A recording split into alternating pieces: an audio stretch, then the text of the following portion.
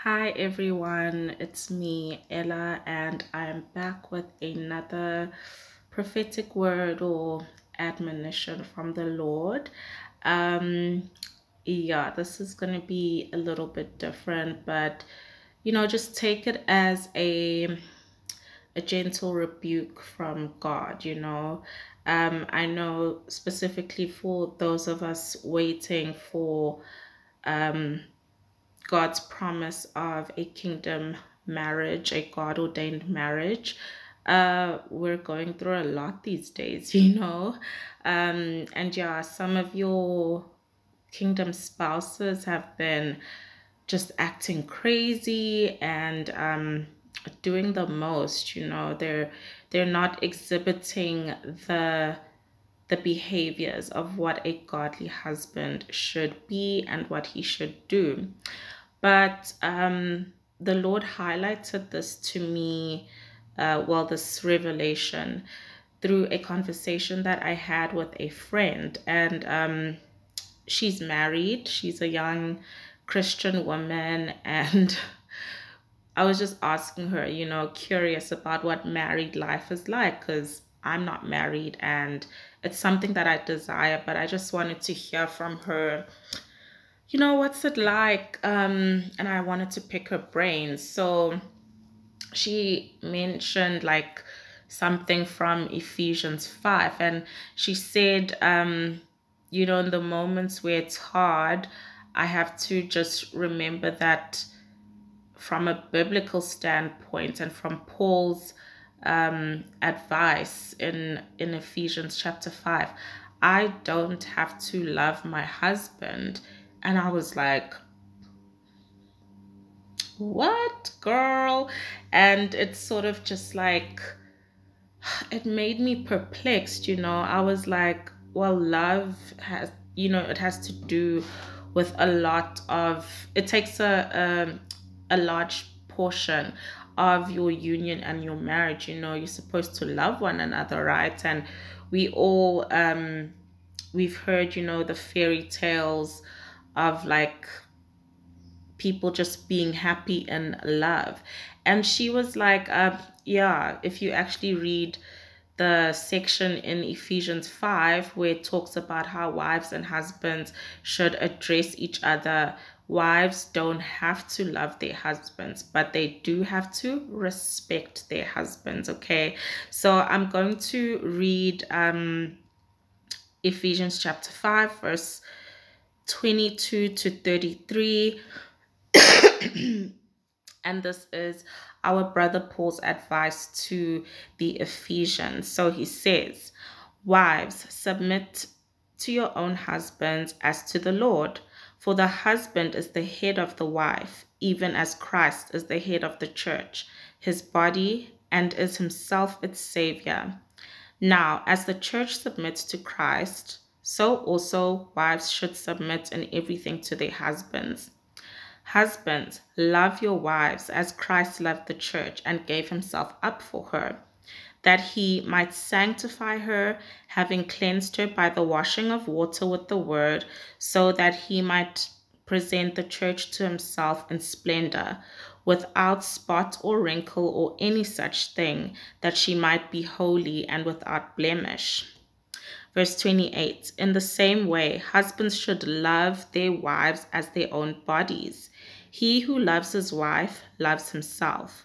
For no one ever hated his own flesh, but nourishes and cherishes it, just as Christ does the church, because we are members of his body. Verse 31 Therefore, a man shall leave his mother and his father and mother, and hold fast to his wife, and the two shall become one flesh.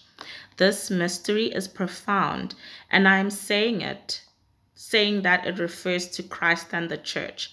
However, let each one of you love his wife as himself, and let the wife see that she respects her husband. Okay, so I think it's all um pretty straightforward Paul laid it all out um, in this passage of scripture. And I think it's very profound advice um, for those of you who are standing in the gap for your husbands or your future husbands.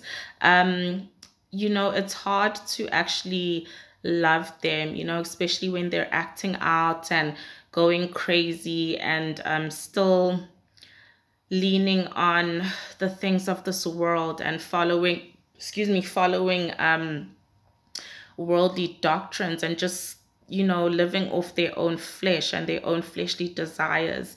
Um it's hard to love your your god ordained husband right? But the lord is saying today that you don't have to love your husband. Um he knows that it is hard to love your husband in those moments. Um and maybe you're even finding some you're you're finding it hard to see any redeemable qualities in the husband that you're waiting for right now. Um, and the lord is validating your feelings. He knows that you're that you're human and that both you and your husband are flawed creatures right?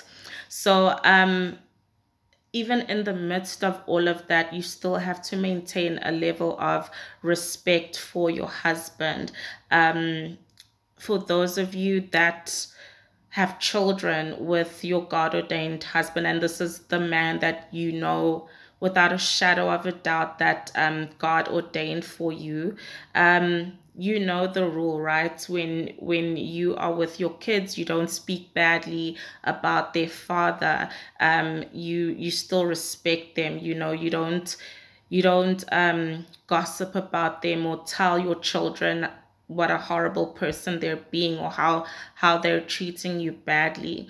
But you still um, speak kindly about them speak respectfully about them and you keep praying for them. So the same thing applies um, when you are talking to your confidants your friends your family members um, always remember to have that respect for your god ordained husband in the back of your mind and in your heart okay? And in the moments where you feel so frustrated and so hurt and um, heartbroken and maybe even angry and resentful uh, towards your your god ordained husband right? The lord wants you to take those frustrations directly to him okay? Uh, you can even just sit aside you know in your quiet time and be like you know what lord I wasn't happy with the way that my husband spoke to me or my boyfriend, you know, or if you guys are friends, whatever the case is, the Lord knows that this person is already your your kingdom spouse. So you just go to the lord and say i wasn't happy with a b and c. Um, i felt really angry and that they disregarded my feelings and they're treating me poorly take it all to God. He is there and He's ready to listen and He knows the ins and outs and um, He knows why your your kingdom spouse is acting this way, right? So yeah, just remember to always take everything back to the Lord and the Lord um, is still in the business of actually disciplining his um his sons and for you know my gents out there who are listening you can also do the same for uh, your God ordained wife. Uh, maybe they're a prodigal as well, but you still have to love your wife, okay? It's very clear here in the scripture that Paul says husbands should love their wives like they love themselves. And it's hard for you too, gents. Um, a lot of you have sacrificed a lot and you've stood in the gap for your um your prodigal wife right? But you still have to love them and um you know yeah just just be there for them as best as as you can. And um the lord will sort it out. Like your cries, your frustrations are not unheard. He's going to act, and he is actually um, still convicting some of these kingdom spouses of their behaviors. And for some of you, you're going to be receiving apologies very soon. Okay, they've come to their senses, they know that they um, did wrong and they hurt you, they offended you, and they didn't treat you the way that um, Christ treats the church, okay? So they're going to come to you and um, they're going to be humble, they're going to apologize.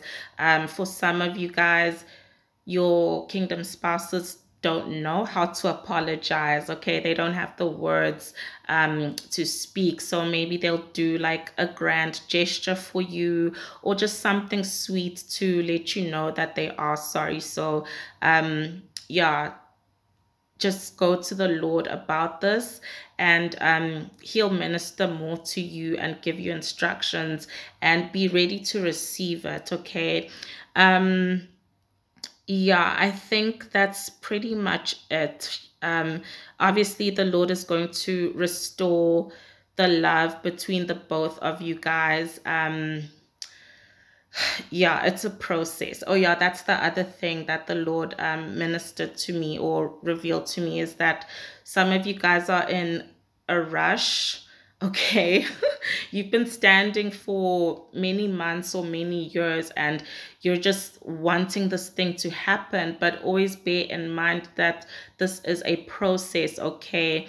Um things don't just happen overnight. Your kingdom spouse isn't just going to change and be like this amazing man overnight it's step by step day by day month by month and even year by year um, when King David was anointed to be king of Israel, um, he was a very young boy. I think he was between the ages of 13 and 15, but he still had to go through a 10 to 15 year process, right?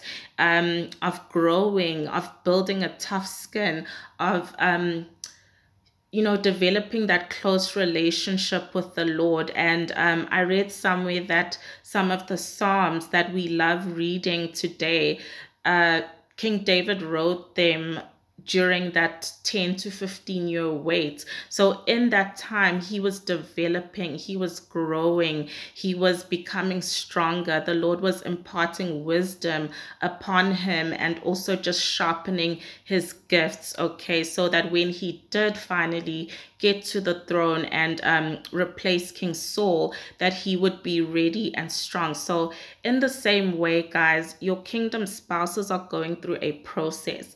I know the wait is so hard, it's tedious, it's frustrating. Um, you guys have been going through so much spiritual warfare um, to the point where it's almost unbearable. You feel like giving up, um, but don't give up on your uh, your kingdom spouse. The Lord is relying on you. Okay, so don't give up on them. Um, just remember that these things take time, and you need to surrender this process to the Lord. Okay, the Lord, the Lord's timing is way bigger and grander than our understanding of it. He knows why it's taking this long, and He knows the things within your kingdom spouse that He still needs to uproot and cleanse and refine and sharpen. Okay, so don't lose heart, keep standing in the gap, keep trusting that the Lord will fulfill His promises to you and that you will be united eventually with your kingdom spouse. Okay, always remember it's a process it's not overnight. So yeah guys um i think that was the the last thing that um the lord wanted me to speak about. Um yeah that's all guys. So i hope that this encourages you guys um continue to walk in love. That's actually um, the first passage in Ephesians, Ephesians chapter 5, um, Paul tells or advises the people to keep walking in love and to treat each other well and um, to to not um, to not walk in the ways of the world. Okay, so continue walking with the Lord, uh, surrender to Him, uh, take out all your frustrations to the Lord. You know, He is your diary, He's your personal counselor, He's your therapist, and he knows everything and he cares about you. He cares about your kingdom spouse. He has big plans for you guys. So yeah do not lose heart. Do not lose hope. Keep holding on and keep standing on business for God, okay? So, um yeah, guys, I hope that this encourages you guys and excuse me, thank you so much for your support and your prayers and your encouragements as well. I'm feeling much better today. I have you know my makeup on um so yeah i'm in a better mood um still a bit anxious and going through it, but it's not as bad as yesterday. So thank you guys so much for your prayers and your messages of encouragement and and your your love. So yeah, thank you so much guys. I hope that this finds you well. I hope that this locates who this uh, message is for and yeah, take it back to the Lord as always. Uh, test the spirit behind every single prophetic message you hear and behind me as well. So y'all guys, I hope that you have a blessed Friday. Please be safe. Continue to stay at the Lord's feet. Um, give him thanks, give him praise, and uh, be obedient to him. Yeah, be obedient. Submit to the Lord. Okay, so um yeah guys that's it for for now um i think i'll post another prophetic message later on today but until then, it's bye bye, and I love you guys so much. Mwah. Ciao.